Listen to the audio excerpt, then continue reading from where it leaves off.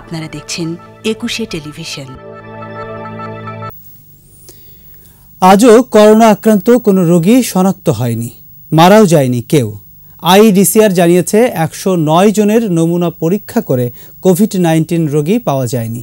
Online সংবাদ সম্মেলনে যোগ দিয়ে স্বাস্থ্যমন্ত্রী জানান, চিকিৎসকদের ব্যক্তিগত সুরক্ষা সরঞ্জাম, পিপিইর কোনো অভাব নেই। আর করোনা পরীক্ষায় পঁয়তাল্লিশ হাজার কিটও মজুদ আছে। সবাইকে স্বাস্থ্যবিধি মেনে চলার অনুরোধ জানানো হয় সংবাদ সম্মেলনে।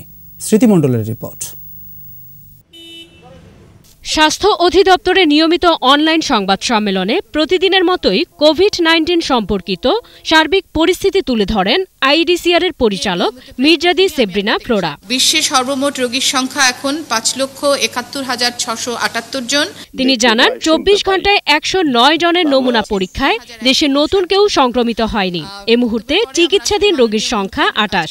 গত চব্বিশ ঘন্টায় আমরা একশো নয়টি নমুনা পরীক্ষা করেছি এবং এই একশো নয়টির মধ্যে কারোর দেহেই করোনার সংক্রমণ পাওয়া যায়নি। এর মধ্যে পনেরো জন ইতিমধ্যে সংক্রমণ মুক্ত যারা সুস্থ হয়ে বাড়ি ফিরে গেছেন। আইডিসিআর এর অনলাইন ব্রিফিংয়ে যোগ দিয়ে স্বাস্থ্যমন্ত্রী বলেন যারা বলে থাকেন করোনা মোকাবেলায় প্রস্তুতি ছিল না কথাটি সত্য নয়। এরই মধ্যে তিন লাখ পিপিএ বিভিন্ন হাসপাতালে বিতরণ করা হয়েছে। করোনা পরীক্ষার আরও কিট ও পিপিএ আসছে বলেও জানান তিনি। প্রত্যেক দিন প্রায় বিশের থেকে তিরিশ হাজার আমরা পিপিপি পাচ্ছি আহ, সেটা আমরা বিতরণ করে যাচ্ছি। এবং আমাদের অলরেডি ইম্পোর্টের জন্য আমাদের অর্ডার দেওয়া আছে যেটা এপ্রিলের মধ্যে সবগুলোই চলে আসবে পর্যায়ক্রমে। আড়াইশো ভেন্টিলেটর ইতিমধ্যে আমাদের হাতে চলে এসেছে যেটা আমরা বিভিন্ন হাসপাতালে স্থাপন করছি এবং আমাদের ইম্পোর্টেও প্রায় সাড়ে তিনশো ভেন্টিলেটর আছে। সংক্রমণ প্রতিরোধে সবাইকে নিয়ম মেনে চলার পাশাপাশি একযোগে কাজ করার আহ্বান জানান স্বাস্থ্যমন্ত্রী।